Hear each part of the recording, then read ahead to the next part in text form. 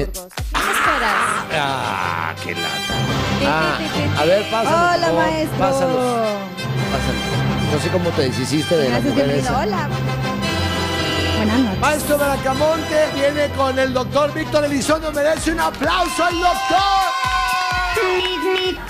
Doctor, la verdad, la verdad, la verdad que usted, este, pásele para acá, doctor. Aquí adelante, aquí adelante, aquí adelante, para que lo pueda ver la cámara. Bien. Maestro Bracamonte, ¿cómo está? No, el placer es para mí. No le tape la antena, maestro, de ese lado. Así me. Ahí sí, No. mira. Ahí está. Este, doctor Víctor Elizondo le estaba diciendo aquí a Ingrid y compañía que este, yo me quiero volver a operar la cara. Total. ¿Usted qué dice? Hay mantenimientos. Hasta Que los, se carros,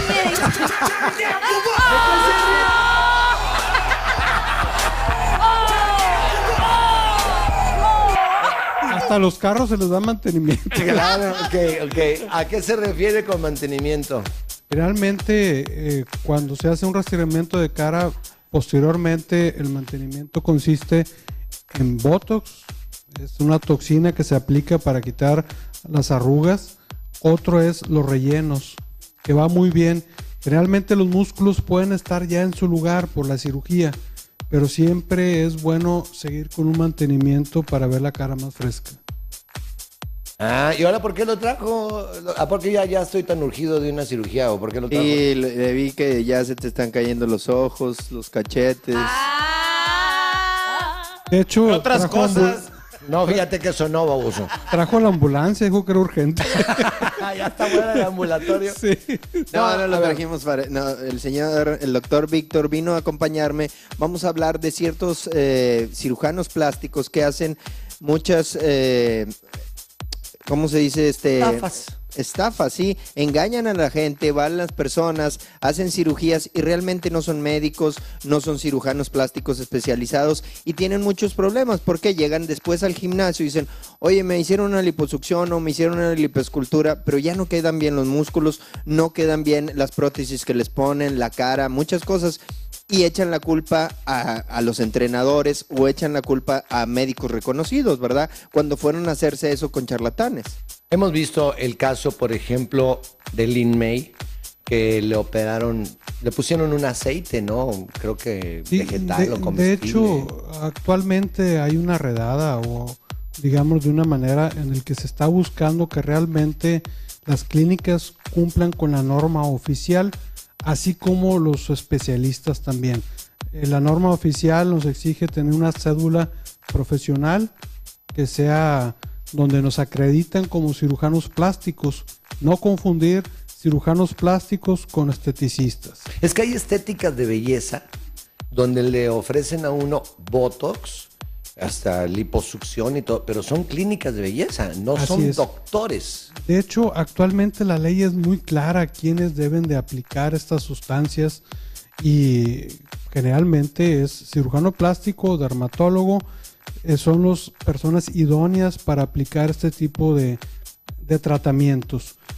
Generalmente uno lo ve muy superficial, pero realmente cuando uno se le tapa la cañería,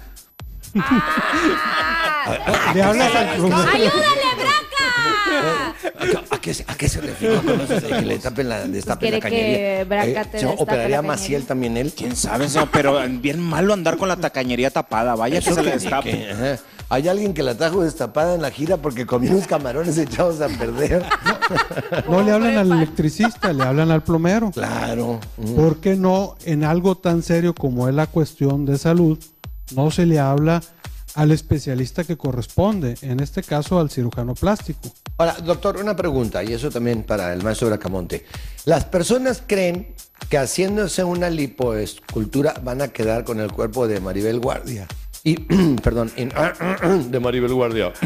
y no es así. O sea, es una ayudada nada más. Claro, siempre hay que tomar en cuenta la referencia que trae el paciente. Conforme tú estás, yo te puedo dar un resultado. Yo no puedo hacer un resultado de magia.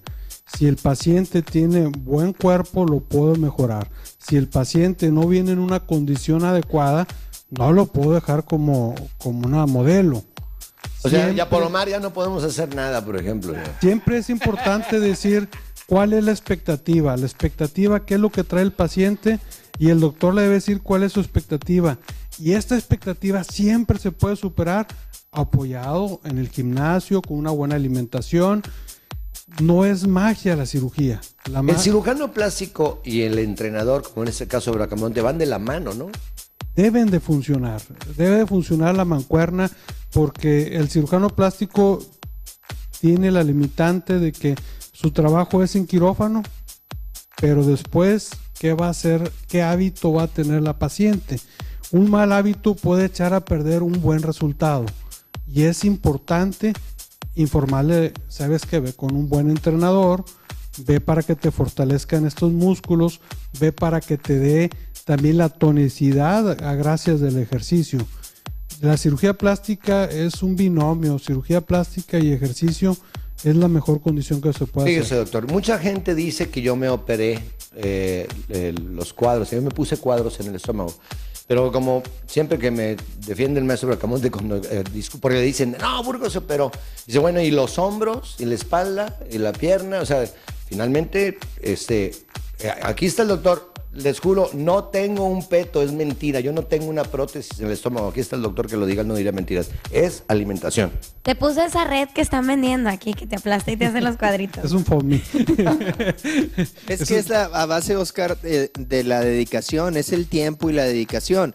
No nada más porque tú vayas con un cirujano plástico especializado y que esté reconocido, vas a obtener un buen físico. Necesitas cambiar tu alimentación y necesitas hacer ejercicio. Y no nada más es un mes, dos meses, sino es durante un proceso de tiempo.